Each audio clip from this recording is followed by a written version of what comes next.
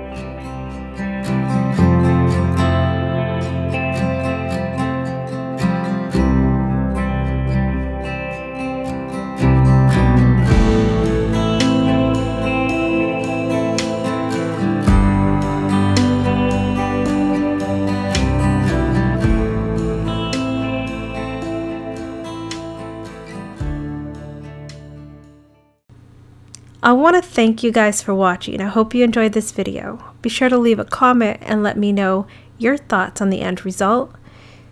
And don't forget to like and subscribe, and I'll see you guys next time. Bye!